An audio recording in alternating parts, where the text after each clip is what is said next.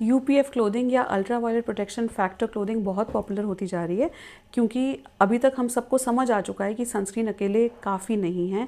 Sunscreen सही लगाना बार बार लगाना और सही क्वांटिटी में लगाना ज़रूरी है, जो कि प्रैक्टिकली पॉसिबल नहीं है। ऐसे में यू पी एफ़ क्लोदिंग जो ऐसे फैब्रिक से बनी है, जिसमें बेंजीन रिंग्स हैं, जो सनस्क्रीन की तरह काम करते हैं सनलाइट को एब्जॉर्ब करते हैं और हमारी स्किन तक पहुँचने नहीं देते, ये बहुत ज़्यादा इफ़ेक्टिव है। ख़ास तौर पर अच्छी है उन लोगों के लिए जिनकी रोजेशिया प्रोन स्किन है फ्रेकल या मलाजमा वाली स्किन है पिगमेंटेशन आसानी से होती है सन बर्न्स आसानी से होते हैं फ़ोटो सेंसिटिव स्किन है, ऐसे लोगों के लिए बहुत असरदार है।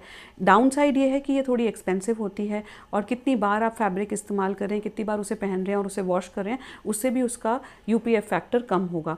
यू फैक्टर क्या होता है? यू फैक्टर का मतलब है कि जैसे अगर आपके फैब्रिक का यू फैक्टर फिफ्टी है इसका मतलब वन बाय फिफ्टी सनलाइट जो आपकी स्किन पर पड़ रही है, वो आपकी स्किन तक वो पहुँचने देगा।